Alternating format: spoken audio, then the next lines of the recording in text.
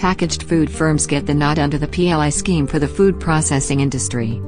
In all, 60 companies that applied for investment have been granted approval.